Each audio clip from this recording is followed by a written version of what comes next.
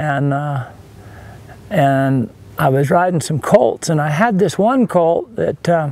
I pushed these cows up one day and up quite a ways on this this spot where I left them, and I'd, I'd been doing quite a bit of running around there,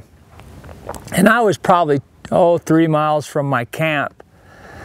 and uh, there was no fences between where I was and where my camp was, so uh, when I got these cattle located.